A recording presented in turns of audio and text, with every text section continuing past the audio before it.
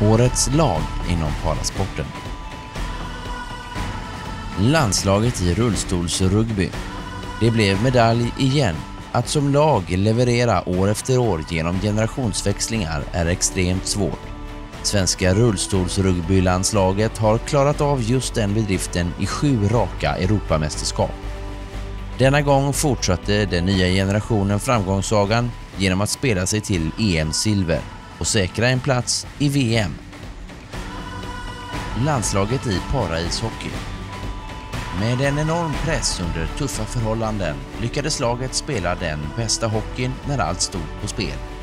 I det direktavgörande paralympiska kvalet hängde allt på mötet med Tyskland i den sista matchen.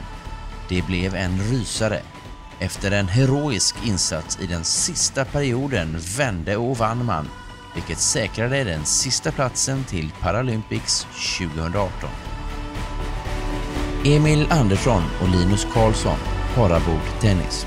Emil och Linus tog revansch mot tuffast möjliga finalmotstånd när det gällde som mest och tog VM-guld efter finalsegern mot Ukraina, de paralympiska mästarna. Att slå tillbaka mot motståndet ett halvår efter den nesliga förlusten i Rio-finalen visar att Emil och Linus fortsätter att leverera på topp när det gäller som mest, oavsett vem som gör motstånd.